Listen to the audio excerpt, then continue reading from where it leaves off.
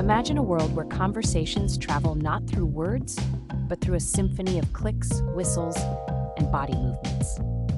Welcome to the underwater realm of dolphins, where communication is nothing short of extraordinary.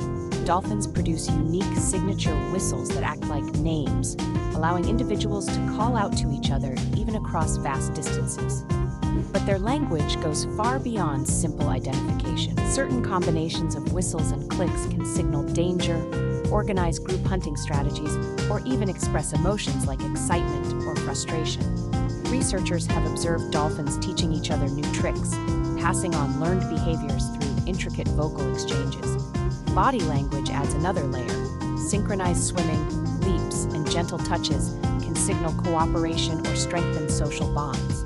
This sophisticated system allows dolphins to coordinate complex tasks, such as herding fish or caring for young. Each pod develops its own dialect, a set of sounds unique to their group, reflecting their social structure and environment.